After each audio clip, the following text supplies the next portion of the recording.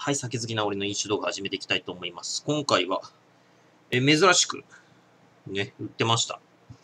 えー、一番搾りプレミアムです。キリンビールのね。えっ、と、こちら確か、あれ？これ、わかんないけど、こんなんあったっけな？こんなんあったっけなっていうか、なんか、限定販売っていうより、あのーあれ、じゃね？あのギフト限定とかそういう系じゃないですかね。あの普通に220円で売ってました。はい。え、ブラウマイスター責任監修と書いてあります。ブラウマイスタービールはね、超うまかったね。えっ、ー、と、330ml 入ってまして、アルコール度数が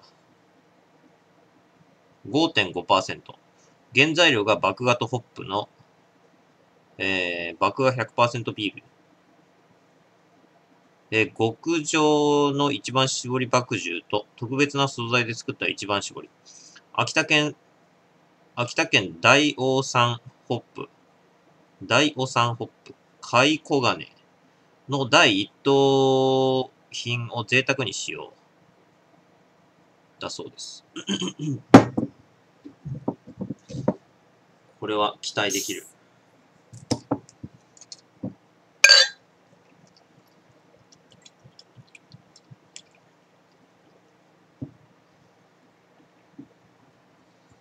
ぴったり。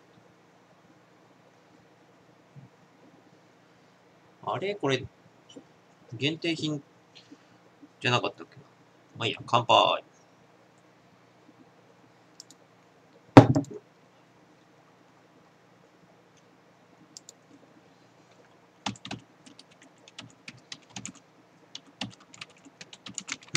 うまい。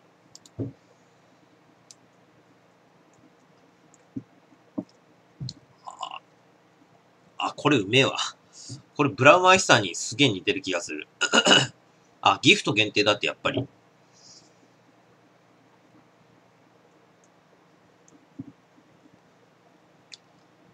あ、これはうまい。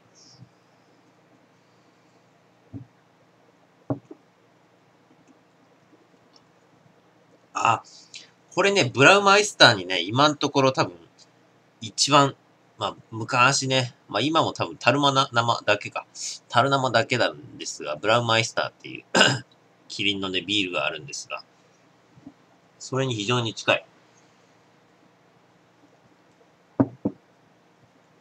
気がする。うん。多分。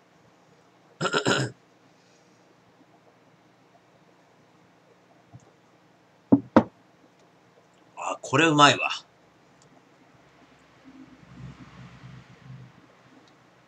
あ、これ、うめえわ。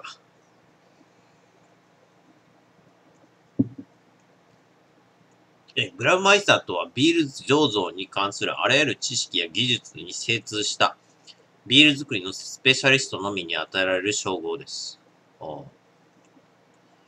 え一番搾りプレミアムではキリンのブラウマイスターである黒黒子って人？黒食いか？責任監視。ブラマイスターが今までのビールのとは次元の違う最高のビールと自信を持つビールが完成しました。マジか。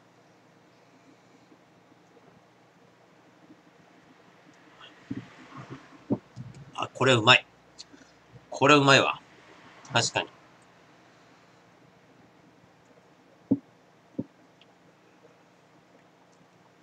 あのね、なん、香り？香りと、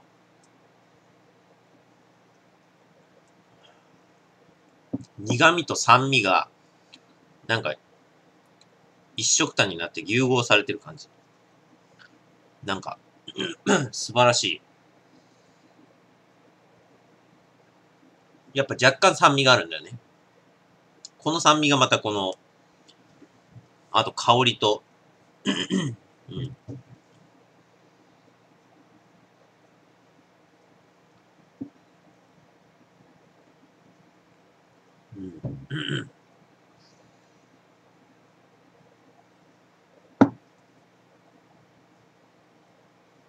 ああ。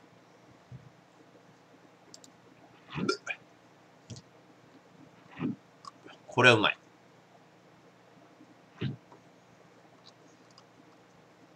通に売ってましたけどね。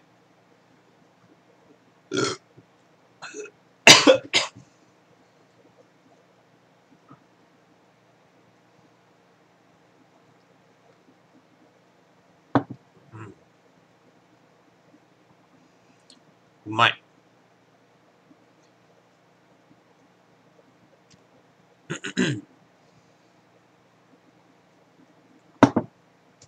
あ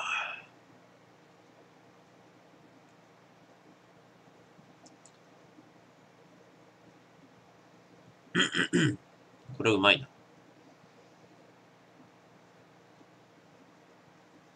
いやー、これはうまいわ。確かに。これはうまい。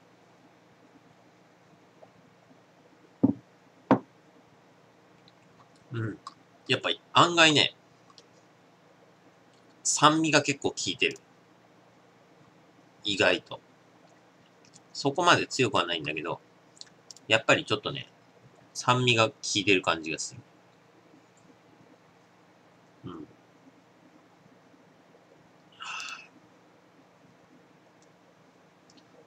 はあ。うん。あ、これうまい。また、でも、まあ、でも、まあ、でもまあ、ブラウンマイスターの方が、ね、苦いかな。ブラウンマイスター。これが、これがね。うん。これがね、昔売ってたんですよ。うん。ごめんな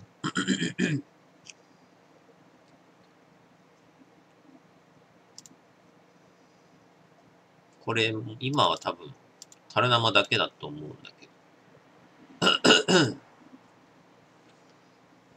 うん、樽生だけですね。樽生だけ。うん。みたいですね。まあ、買おうと思えば、樽生で、一番安い7リットルのやつを買えば、これ多分これ買ったとしてもこれどうやって注げんだこれ。汽船用の機材ないと多分注げないんじゃないのか。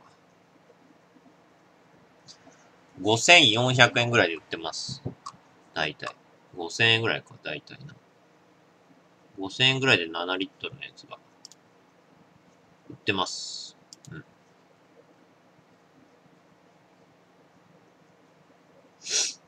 これがな 今、今まで飲んできたビールの中で多分最高にうまかったビールがこれですね。でもこれに非常に似てる気がする。昔の、その飲んだブラウマイスターはもうちょっとコクが強かったような、ていうか苦かった気がする。かなり苦めのあれだった気がする。ブラウンマイスターはね。うん。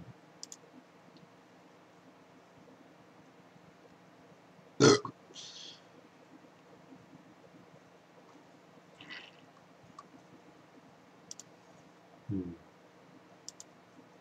確か。まあでもあれはクソうまかったからな、本当に。今から何年前か。2008年ぐらいの商品みたいですね。ブラウマイスター。うん。多分苦味がかなり強かった気はする。ね。これはまあでも、非常に美味しい。これはやっぱプレミアムというのにふさわしいビールだと思います、これは。まあ値段も220円ぐらいだし。まあ、そうですね。キリンの普通の一番搾りに比べると、ま、全く別物ですね。霧の一番搾りは、あの、個人的に薄すぎてね、あの、まずーっていう。まあ、まずーではないけど、全然、あの、普通のビールですね。普通っていうか、むしろ薄い系のビールなんで、あんま好きじゃない。スーパードライの方が好きです。これはね、あの、コクが強くて、どちらかちょっと甘みは少ない。苦めの部類ですけど。苦めの部類で、香りは強い。かなそうですね。